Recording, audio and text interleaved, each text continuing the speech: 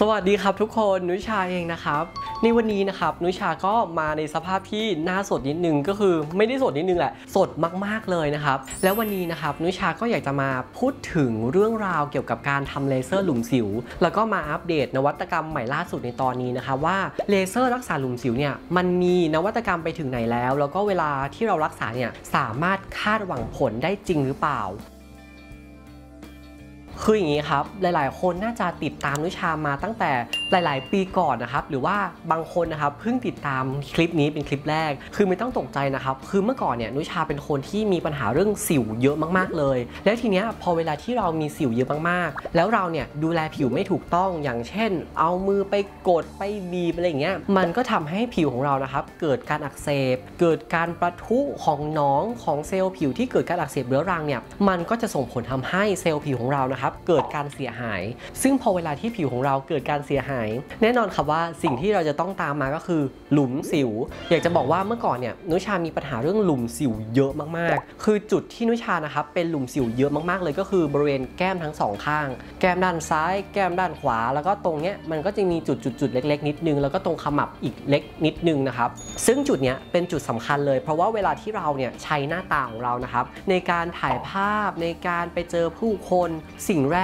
กทุกคนอะจะต้องมองมาที่เราก็คือใบหน้าใช่ไหมครับ ดังนั้นพอเวลาที่เราใช้ BB CC Concealer แป้งพับแป้งฝุ่น มันก็ทำให้ผิวหน้าของเราเนี่ย มันอาจจะกลบเกลื่อนอย่างเช่น มีปัญหาเรื่องรอยดำรอยแดงได้ดีพอสมควร แต่ถ้าใครที่มีปัญหาเรื่องหลุมสิว เราคงจะเห็นภาพชัดเจนนะคะว่ามันไม่สามารถกลบเกลื่อนได้ ดังนั้นนุชาเนี่ยก็จะมีความกังวลใจในด้านนี้อยู่ก็คือ มันไม่สามารถปกปิดหลุมสิวที่มันเป็นหลุมๆเนี่ยได้อย่างเนียนกริปดังนั้นนะครับนุชาก็เลยตัดสินใจในการทำเลเซอร์อีกครั้งในปีนี้ เพราะว่าก่อนหน้านี้ด้วยสถานการณ์โควิดนะครับรัฐบาลของเราไม่ให้อนุญาตในการเปิดสถานพยาบาล คลินิกเกี่ยวกับความงามเลยนะครับ ดังนั้นวันนี้นะครับเราจะมาอัปเดตกันว่านุชาไปทำเลเซอร์ ชื่อว่า Pico Circle อยากจะบอกว่าไม่อยากจะพูดถึงสถานที่ไหนๆเลย อยากให้ทุกคนไปค้นกันเอาเองนะครับว่าที่ไหนมีบ้างแล้วก็ราคาเท่าไหร่ อยากจะบอกว่าเลเซอร์ตัวนี้มันมีข้อดีกับเลเซอร์ CO2 หรือว่า Fexel หรือว่า E-Matrix ยังไง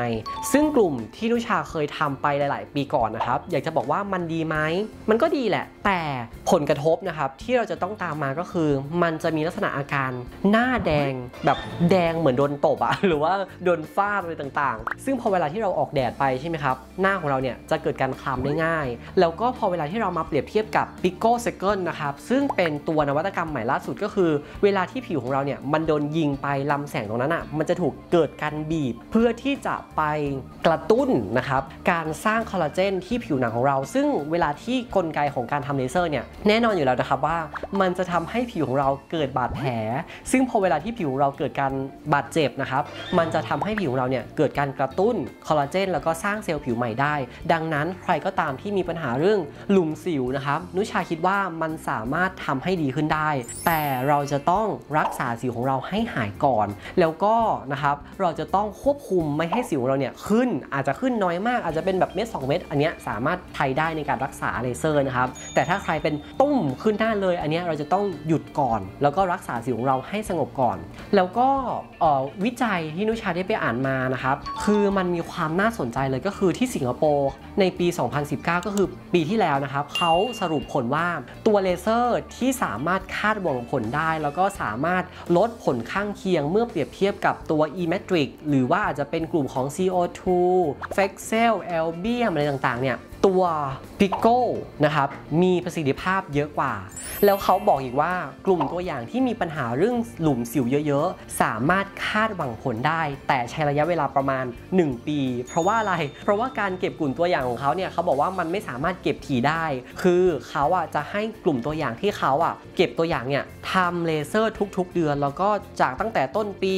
กลางปี แล้วก็สิ้นปีเลย เพื่อเอาสภาพผิวมาเปรียบเทียบกัน ปรากฏว่าหลุมสิวที่มันลึกอะลึกมากๆเลยนะ อาจจะเป็นกลุ่มของบ็อกสกาที่มันเป็นกล่องๆแบบเนี้ยแล้วก็อาจจะเป็นกลุ่มของ Ice Pick นะครับแล้วก็จะเป็นกลุ่มของ Rolling Scar ที่มันเป็นคลื่นๆซึ่งกลุ่มเนี้ยพอเวลาที่ยิงไปแล้วทำให้ผิวของเขาเนี่ยหลาย ๆ คนนะครับที่เขาเก็บกลุ่มตัวอย่าง ดีขึ้นราวประมาณ 7-80%ซึ่งนุชาอ่านผลวิจัยอันเนี้ย กว่าจะจบนะหลายวัน เพราะว่ามันมีกลุ่มเกี่ยวกับการรักษาสิว เกี่ยวกับการทานอาหารอะไรเงี้ยผสมมาด้วย ซึ่งนุชาก็ตกใจนะครับว่า เฮ้ย มันมีนวัตกรรมแบบนี้ด้วยหรอ เพราะว่านุชาเนี่ยเป็นคนที่แบบไม่ค่อยได้ศึกษานวัตกรรม เกี่ยวกับรักษาหลุมสิวมาแบบเหมือนกับการรักษาสิวไงดังนั้น พอนุชาตัดสินใจแล้วว่า ตัว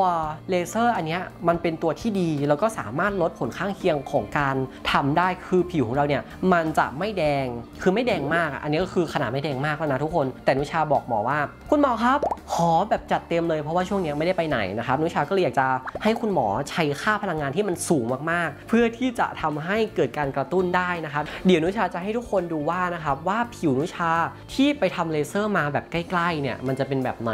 นี่ ให้ทุกคนดูนิดนึงอะเห็นไหมทุกคนอันเนี้ยมันก็จะเป็นลักษณะของแบบเก็ดเลือด มันไม่ใช่เป็นแผลนะถ้าเวลาที่เราเปรียบเทียบกับเฟกเซลอะเราจะเห็นแผลเป็นตารางใช่ไหมแต่อันนี้เป็นคือเกล็ดเลือด แล้วก็เลเซอร์พอเวลาที่เรายิงไปอะมันจะเป็นลักษณะของเหมือนอันเนี้ยอะยกตัวอย่างแล้วกันง่ายๆ มันเหมือนเป็นแบบแท่งปากกาตรงเนี้ยยิงเข้าไป แล้วอนุภาคของมันอะคือมันจะไปตรงจุดกับแผลเป็นเลย ดังนั้นผลข้างเคียงอะเซลล์ผิวโดยรอบอะมันจะไม่แดงเห็นไหมคือความจริงคุณหมอก็ใช้พลังงานอ่อนๆยิงให้นุชาตรงเนี้ยคือเออนุชามีเห็นไหมมีรอยสิวตรงนี้นิดนึง แล้วก็ เห็นไหมตรงเนี้ยมันก็จะมีลักษณะของแผลแดงๆให้ทุกคนดูนิดนึง เห็นไหมมันก็จะเป็นลักษณะของสะเก็ดสะเก็ดสะเก็ดอ่าเห็นไหมเห็นไหมซึ่งจะบอกว่าน่ากลัวไหมน่ากลัวนะ เพราะว่าช่วงแรกอะที่เราทำเสร็จอะมันจะมีแบบเหมือนเลือดของเราเนี่ยซึมๆออกมา ถ้าใครใจไม่ถึงอาจจะแบบเฮ้ยน่ากลัวจังเลยอะไรเงี้ยเนาะแต่นุชาคิดว่าทุกคนสามารถทนได้ ถามว่าเจ็บไหมเอาจริง ๆ แล้วมันก็เจ็บบ้างอะ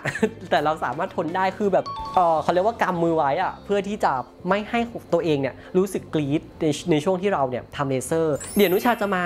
ลงสกินแคร์นะครับ ซึ่งเรียกได้ว่าตัวนี้เป็นตัวที่นุชาใช้ในช่วงที่ทำเลเซอร์มาตั้งแต่เมื่อวานแล้วแหละ ก็คือเป็นตัวเกี่ยวกับเรียกว่า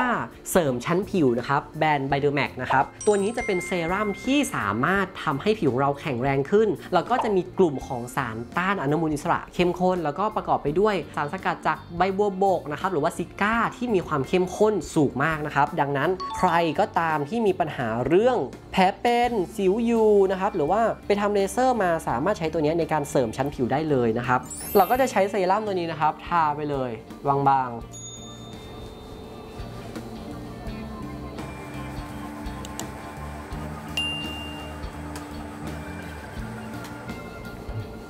จะทำให้แผลของเราเนี่ยสมานได้เร็วขึ้น แล้วก็ไม่ทำให้หน้าของเรามัน ตัวนี้นะครับทุกคนสามารถไปหาซื้อในตามเว็บไซต์ได้เลย เดี๋ยวนุชาจะแปะลิงก์ไว้นะครับ